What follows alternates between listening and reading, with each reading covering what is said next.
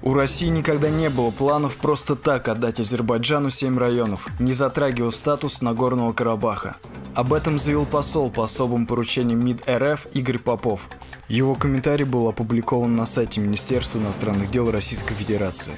Российский дипломат отвергнул обвинение премьер-министра Армении Никола Пашиняна в том, что предложения по регулированию, которые двигала Россия до военных действий в Карабахе, якобы касались только передачи семи районов Азербайджану, но избегали темы статуса Нагорного Карабаха.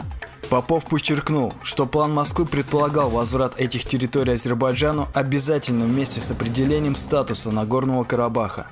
Он добавил, что российские предложения отражали и другие интересы Армении на первом этапе регулирования. В частности, Россия предлагала допустить представителей Нагорного Карабаха к участию в заседаниях ОБСЕ, снятию блокады и договоренности между сторонами о неприменении силы. Утверждать, что Россия предлагала вернуть семь районов за просто так, забыть про статус и успокоиться, не соответствует действительности, подчеркнул Попов. Вполне возможно, что планы России поменялись из-за успешной наступательной операции Азербайджана, либо планы просто растянулись во времени. Время и покажет это в будущем.